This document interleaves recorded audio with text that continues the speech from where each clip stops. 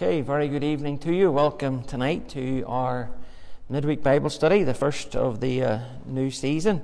And we are tonight in the book of Isaiah, chapter 36. Isaiah chapter 36. We're going to begin reading in verse 1 and read down to verse 10.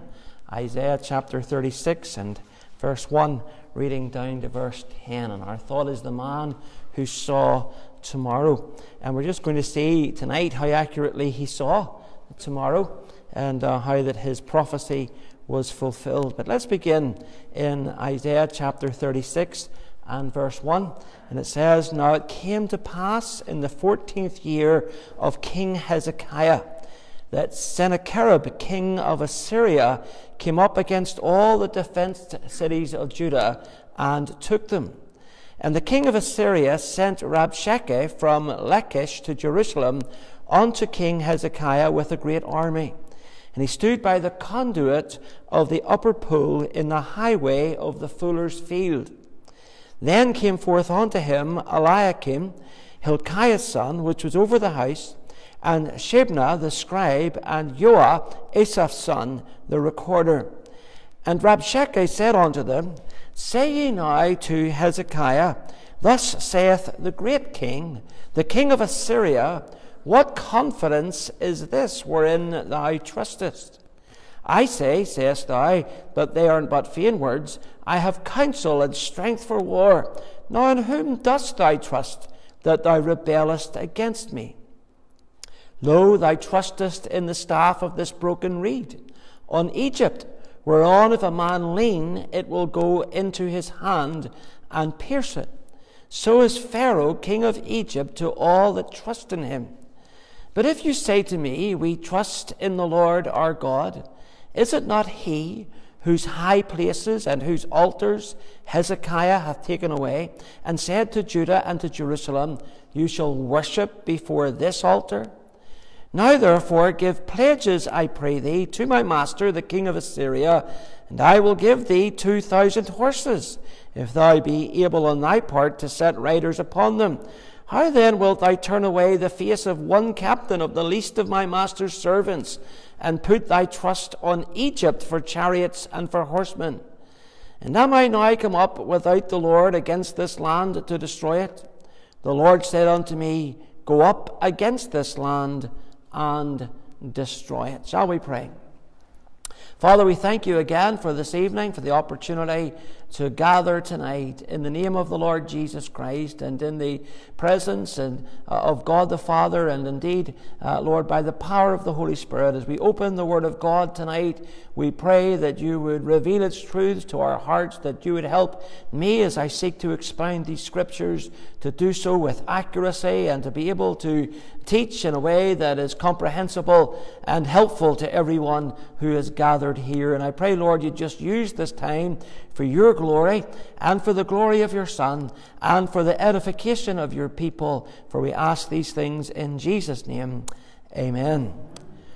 Well, I don't know if you remember exactly where we were when we last left off before lockdown, but it's been a while since we uh, come back to this study. Uh, but just to give you an idea, there's Isaiah at a glance. And we've already covered the prophecies against Judah and the prophecies against the nations. Then we looked at the prophecies of the day of the Lord and prophecies of uh, judgment and blessing.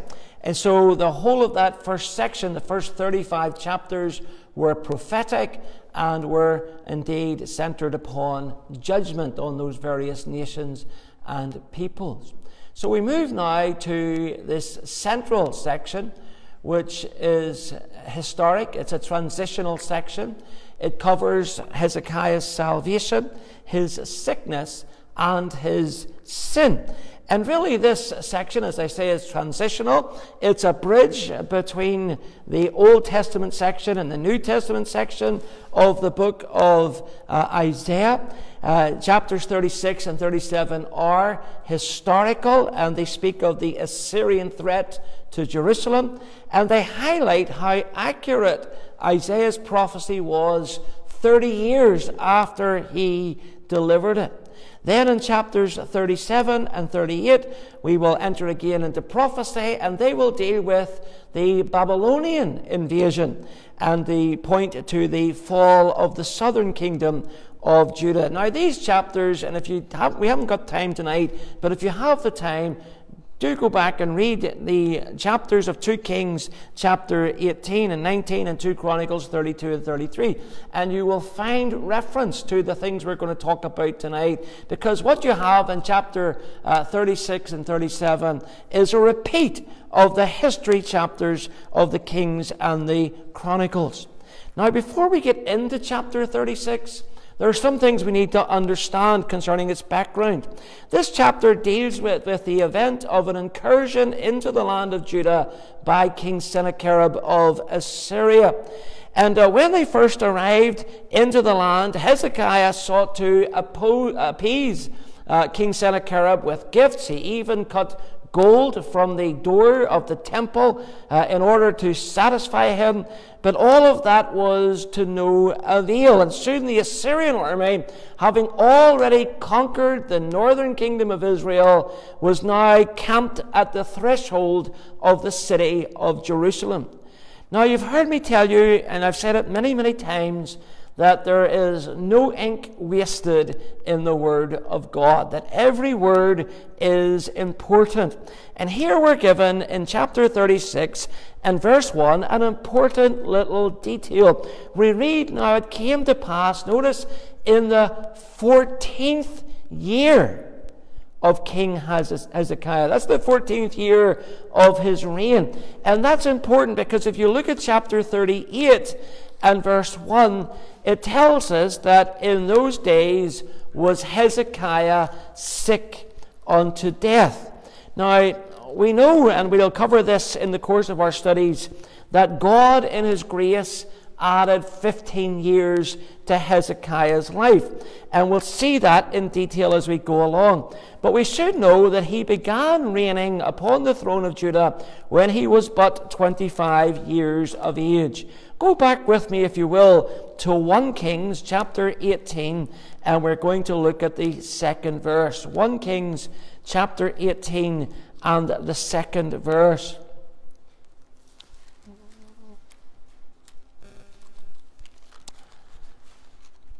Sorry, 2 Kings, I should have said, not 1 Kings. 2 Kings chapter 18 and uh, the second verse. Verse 1 tells us that Hezekiah, the son of Ahaz, king of Judah, began to reign. And it says, 20 and 5 years old was he when he began to reign, and he reigned 20 and 9 years. Now, notice that. We're told two things. He's 25 when he begins to reign, and he reigns for 29 years. That means he died when he was 54. You get that? 25 plus 29 equals 54. Now we know that he had 15 years added to his life, to the end of his life. So if you take 15 from 54, that brings you to the age of 39. He's 39 when he is struck down with this illness. Now, this chapter has told us in the 14th year of his reign, Sennacherib came and he threatened Hezekiah's rule. Well, if you think about that, if he began reigning at the age of 25 and Sennacherib comes in the 14th year, that means he's 39 years of age. In other words, he's, as he's being attacked by the Assyrians, he's not only suffering a political threat, but he has a personal problem. He is sick unto death. He has an ailment, a very serious illness that is life threatening. And you see here, friends, something of the cruelty of Satan. Satan doesn't care how sick you are. He doesn't care how sad you are. He doesn't care whether you're distressed or you're troubled. He's coming for you because he is a cruel and cold enemy. I remember many years ago in Northern Ireland, a man was shot, sadly shot to death, to death as he was uh, out of the doctors. And uh, mayor of Belfast the next day, and of course he was condemning the shooting. Uh, and then he said this thing that always sort of made me think how ironic. He said, Imagine shooting a man, he says, Imagine shooting a man when he's sick. And I thought to myself, well, what difference does it make? What does it matter whether he's sick or he's well? I mean, the terrorist isn't going to say to you, How are you feeling today? Well, I'm feeling a little poorly. Well, I'll come back tomorrow. No, that's not the way this thing works. It's very cruel.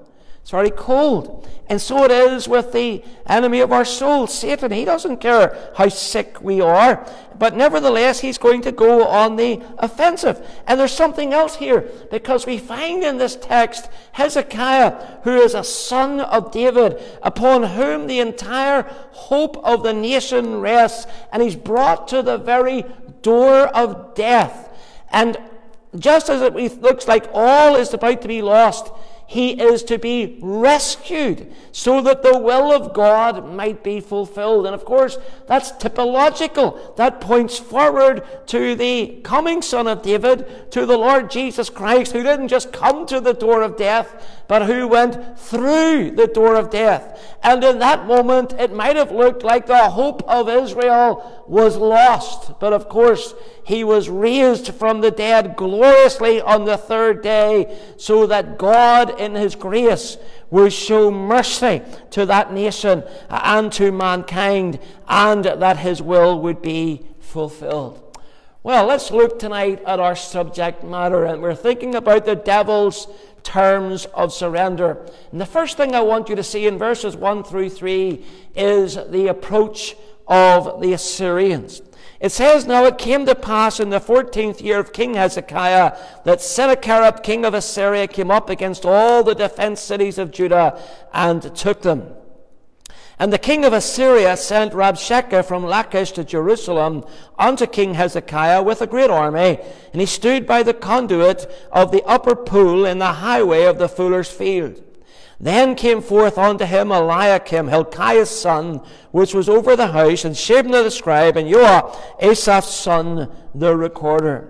Now we know from the historical section of the Old Testament that King Sennacherib had rampaged through the land of Judah. He had taken one defense city after another. And now he's arrived at Lachish, which is also a fortress town in Judah. And from there, his intent is to take Jerusalem, to conquer the capital, and to complete his conquest. Now, if this was a game of chess, at this point, Sennacherib would be saying to Hezekiah, check. In other words, he's saying this is the penultimate move. It's just one step to checkmate until the game is up. Now, all that we're reading here is absolutely founded in history. You know, in the British Museum in London, and those of you who went with us will have seen an entire room dedicated to this event. That there was the relief, uh, that not the relief of Lachish, but the relief of the siege of Lachish. Uh, uh, and the Assyrians had laid it all out for us how that they were conquering Judah, and uh, how that they had Hezekiah holed up. In fact, in that same museum, we saw the Taylor's Prism. And on that prism, you have the annals of King Sennacherib, and he states at this point that Hezekiah is holed up like a caged bird. That's his expression. He's like a caged bird. He says, I've got him and I'm going to come in on him now, and I'm going to take his life, and I'm going to take his kingdom. And so this was a terrible time for Hezekiah in ailing health with a foreign legion breathing down his neck. Now, whilst Sennacherib, the king of Assyria, sat put at Lachish, he sends an envoy, Rabshakeh, to go and speak to Jerusalem and to uh, Hezekiah, the king of, of Judah, and to bring terms of surrender. Now, of course, he didn't come alone. The text tells us that he came here with a great army. And Rabshakeh is not a personal name. When you read it that way in the authorized version, it looks like that's his name. That's not his name, that's his title, okay? Uh, he's the Rabshakeh, the field commander, the general. So here is uh, Sennacherib, and he has sent his general to go and settle this dispute and to secure the surrender of the king of Judah. Generals are often dispatched in times of war to negotiate you think about World War II, it was the General Dwight Eisenhower who uh, took the German surrender, and it was uh, Douglas MacArthur, General Douglas MacArthur, who uh, negotiated and who accepted the Japanese surrender. So the Assyrian general comes seeking Jerusalem's unconditional surrender. And as they do, Rabshakeh finally shows up, notice, at the conduit of the upper pool in the highway of the fuller's field. That was Jerusalem's main water supply at this point. Now, that he showed up here was strategically significant, and I'll tell you why. Because before he arrived and before the Assyrian army came, the uh, men of Judah, the men of Jerusalem had gone out and they had filled all the wells of the land round about Jerusalem in order to, uh, to exhaust the uh, Assyrian army of any water supply, so that when they would seize Jerusalem, they would have to at least dig wells or find water, and, and that would in some way stall the siege. But Rabshakeh comes to this point, and he's letting Hezekiah know that he knows the geography of Jerusalem, that they have spies even among the Israelites who reported the very words uh, of the king and that he, knowing the layout of the city, knows where their water supply is, and there he stands upon it, as if to say, Listen, all we've got to do to get water is cut you guys off. We don't have all the water we want. You're the ones who are going to be thirsting. But it was also spiritually significant that he stood there because we've already encountered this locality in Isaiah's prophecy. Look back to chapter 7 of Isaiah and verse 3. Isaiah chapter 7 and verse 3. Then said the Lord unto Isaiah, Go forth now to meet Ahaz. Ahaz is Hezekiah's father. Thou and Shear Yashub, thy son, at the end of the conduit of the upper pool in the highway of the fuller's field. Exactly the same location. Now, let me give you a quick uh, little bit of revision here. You may recall at that point in Isaiah chapter 7, Israel, the northern kingdom, and Syria were concerned about the rise of Assyria. And so they formed an allegiance to fend off the Assyrian threat. And they sought the support of King Ahaz of Judah to join with them in a confederation against the Assyrians. However, Ahaz refused. And so Israel and Syria decided that they would depose Ahaz as king of Judah and they would put in a puppet king who would support their cause and who would agree to their political desires. So Ahaz was really up against it, even as Hezekiah was up against it. So God sent Isaiah along to speak with him, and he brings his son, Shear Jashub. You remember that name? It's one of those mouthfuls that Isaiah gave to his children. And it means a remnant shall remain. So he comes along and he says, Listen, God is going to retain a remnant in this land. Here's my son, Shear Jashub. And it was right at this very place. And there Isaiah exhorts Ahaz to trust God. And he even invites him to seek a sign that all will be well if he trusts the Lord. Now, if you remember from our study all those months ago, Ahaz rejected that. He said he wouldn't behave presumptuously. And instead, what did he do? He sought to make an alliance with the Assyrians in order to stave off the threat from Israel and Syria. Well, now Hezekiah is being tested from the very same spot that Rabshakeh comes to and makes his challenge, the very same spot that Ahaz was challenged from. And notice the words of Rabshakeh. Uh, you know, here's the question he asks in verse 4 What confidence, confidence is this wherein thou trustest? He says, Who are you going to trust? God or man? I know what you said. You said you have counsel and strength for war. Well, who are you going to trust? Are you going to trust God? You know, when, when we feel life's test, you know what God often does?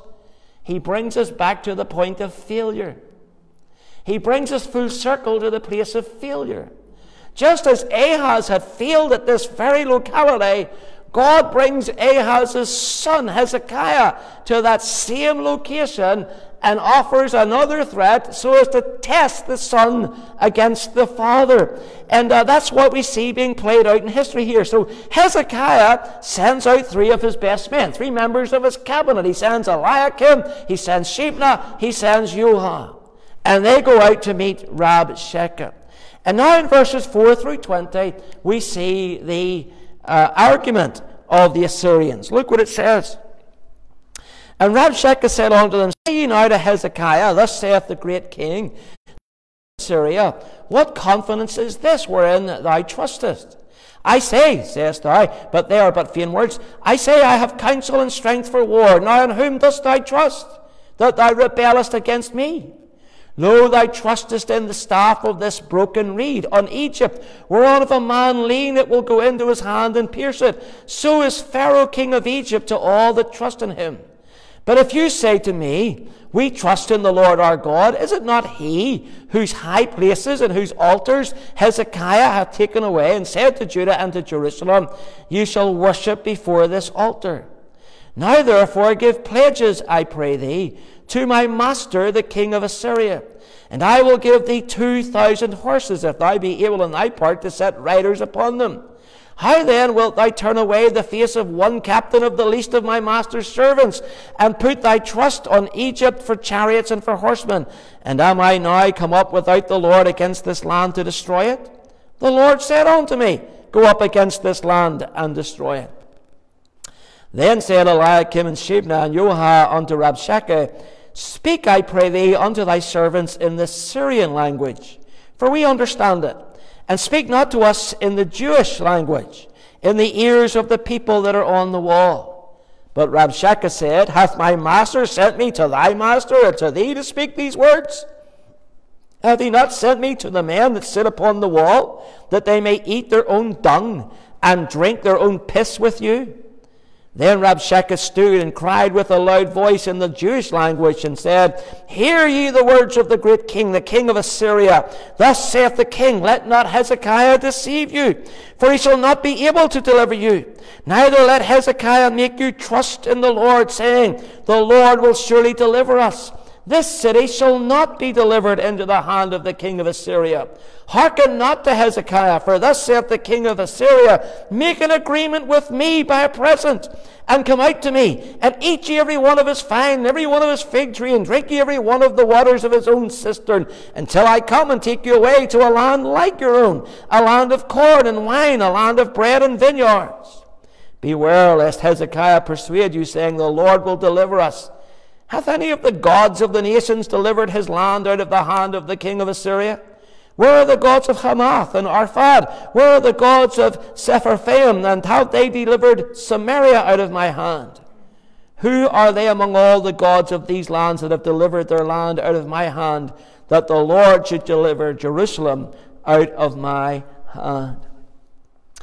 Now, in spiritual terms, Rabshakeh probably got off to the worst possible start in his discussion with the three messengers of Hezekiah because he refers in verse 4 to Sennacherib as the great king. Now, that's a title that belongs to God.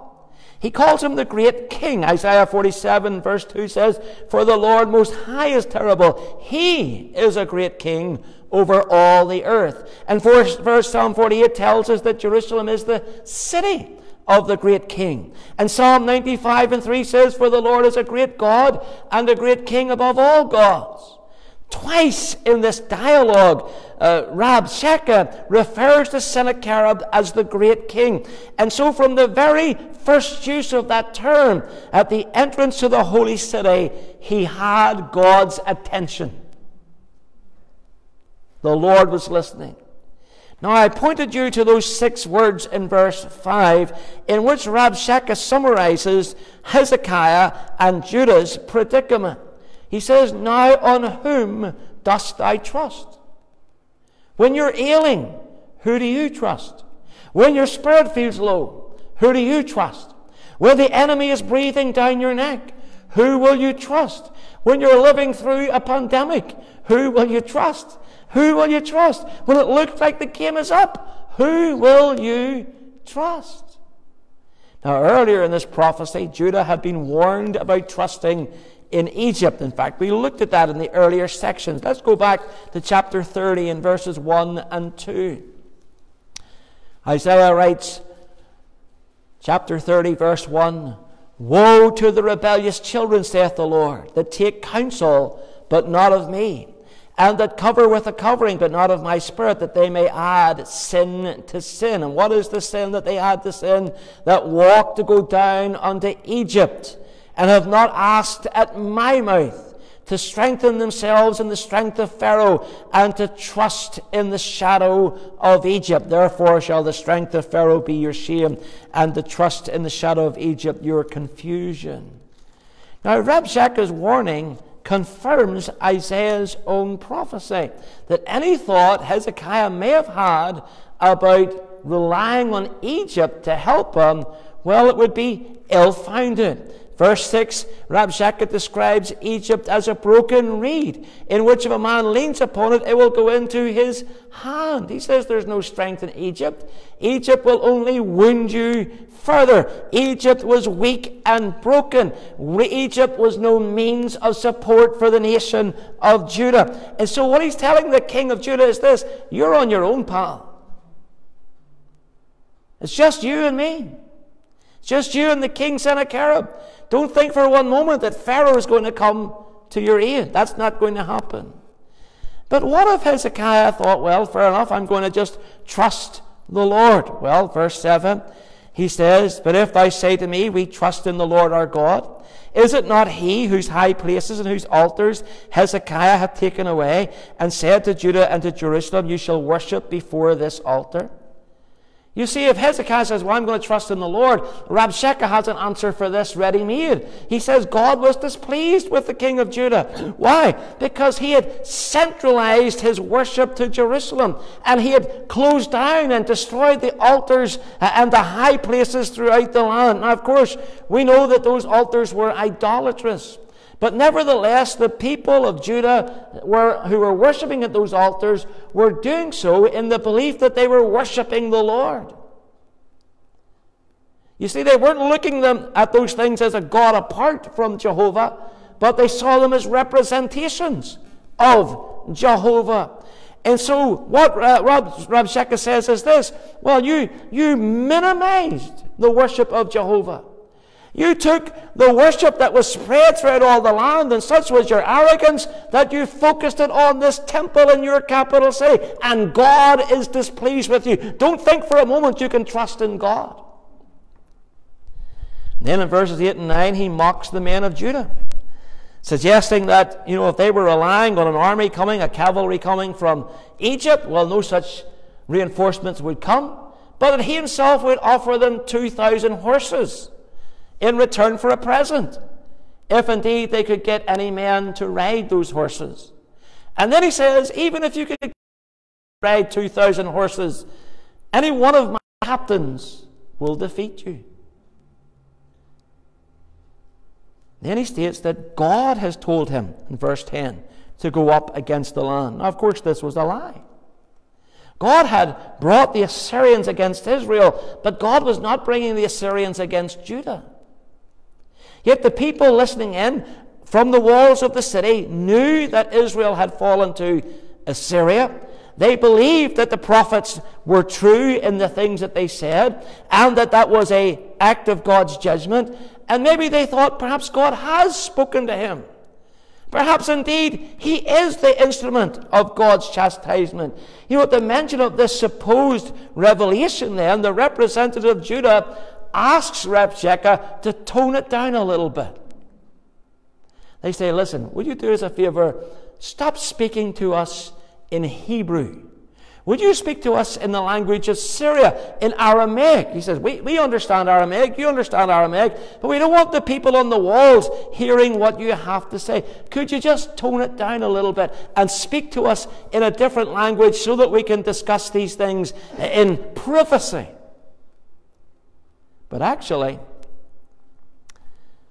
Rabshakeh's purpose was to unsettle the people. Look at verses 12 and 13.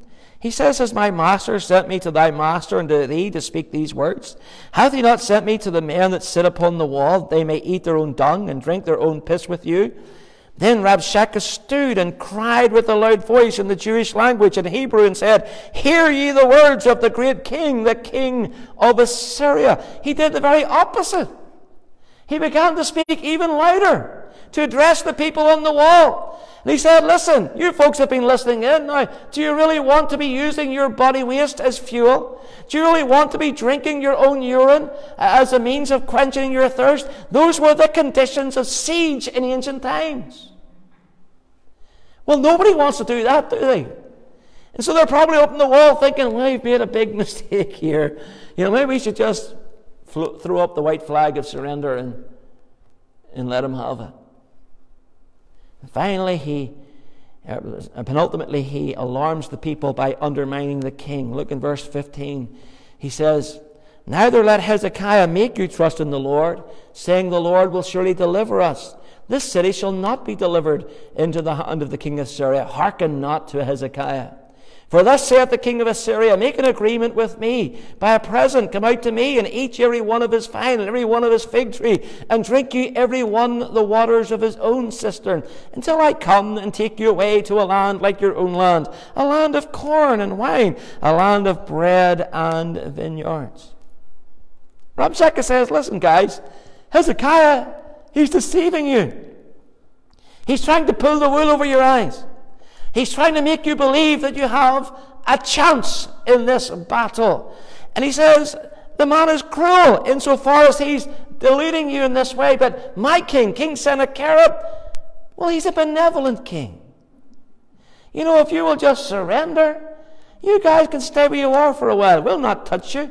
You know, you can, uh, you can uh, uh, eat every one of his own vine and every one his fig tree and drink out of your own cistern. He says, look, I can go away from here and life will go on as normal. And then in due time, we'll come back and we'll work out who's going to go with us and who's going to go back to Assyria with us. And, and actually, he says that's not bad. He says Assyria is a land like yours. It's a land of, uh, of corn and wine, a land of bread and vineyards. He almost makes it look like a travel brochure, doesn't he?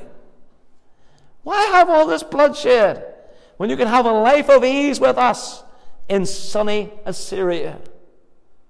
And finally, he blasphemes the Lord outright. Verse 18 Beware lest Hezekiah persuade you, saying, The Lord will deliver us. Hath any of the gods of the nations delivered his land out of the hand of the king of Assyria?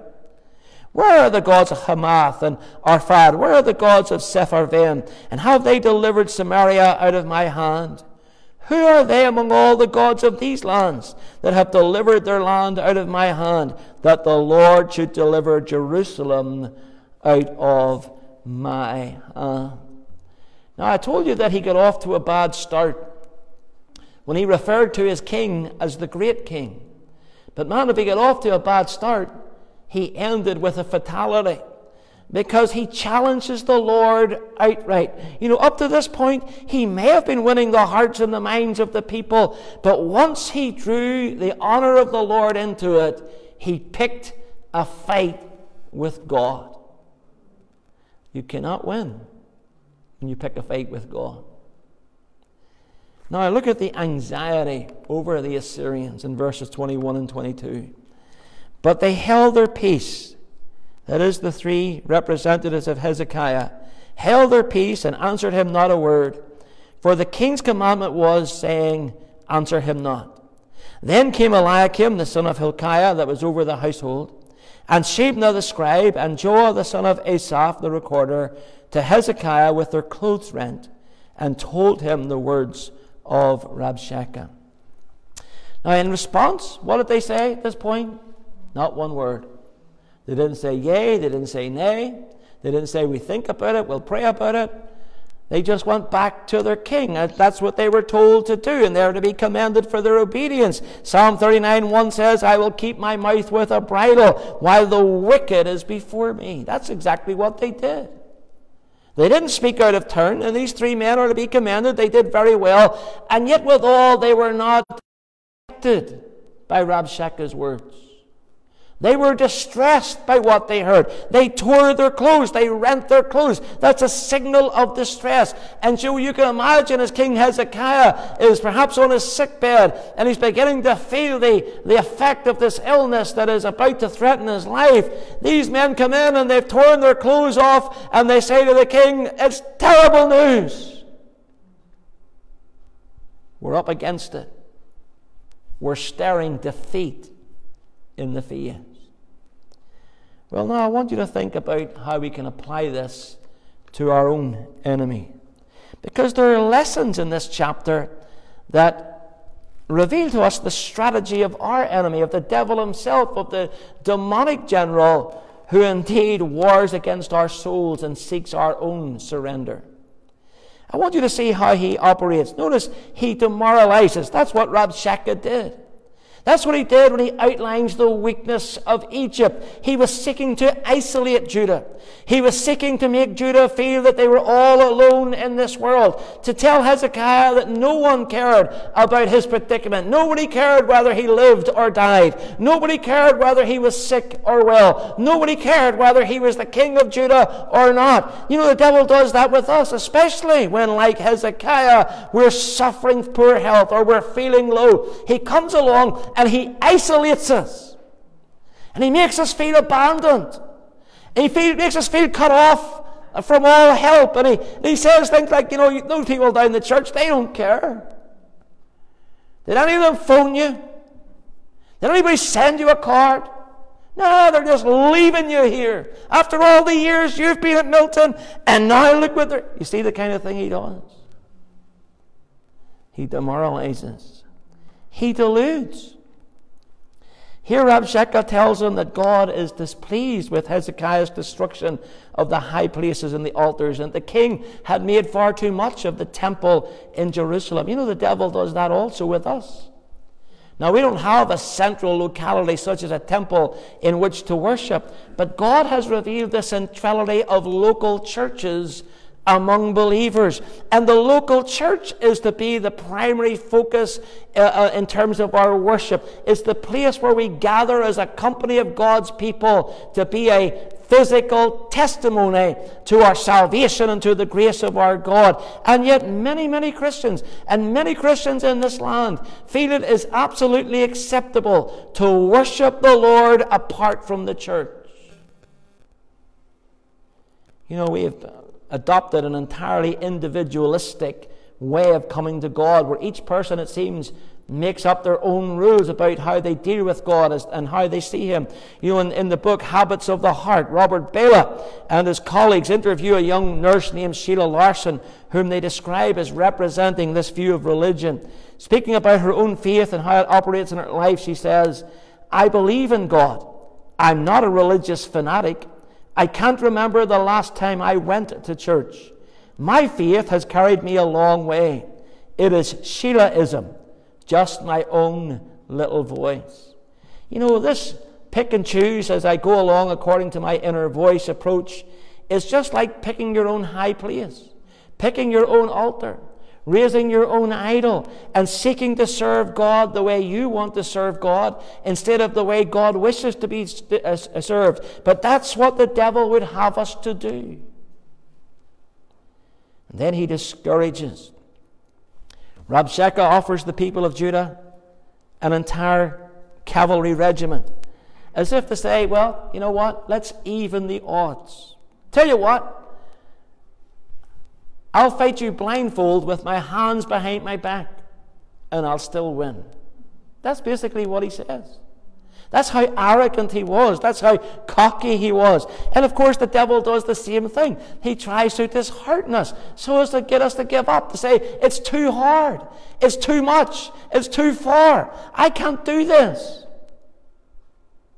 He discourages and he deceives. Rabshakeh claimed that God had spoken to him, despite the fact that God had already expressly stated his opinion concerning Judah and Jerusalem. Look in Isaiah chapter 33, if you will.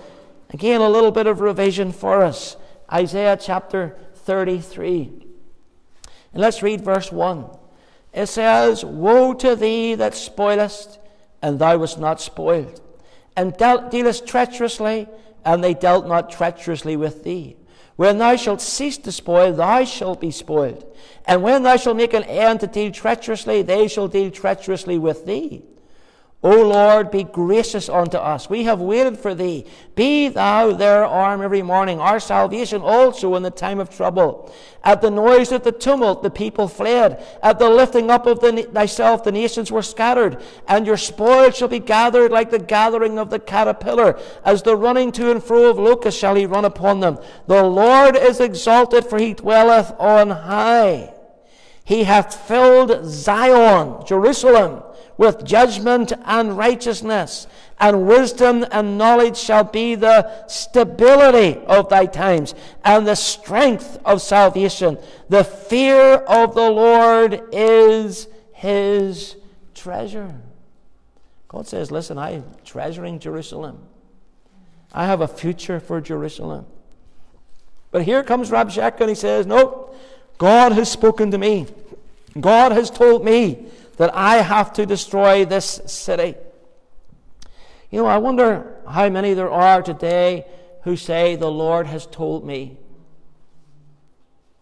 Who step outside the pages of Scripture and say, The Lord has told me, only to pronounce matters which are unscriptural, untestable, or untrue. You know, there are people up and down this land who tell me they're prophets.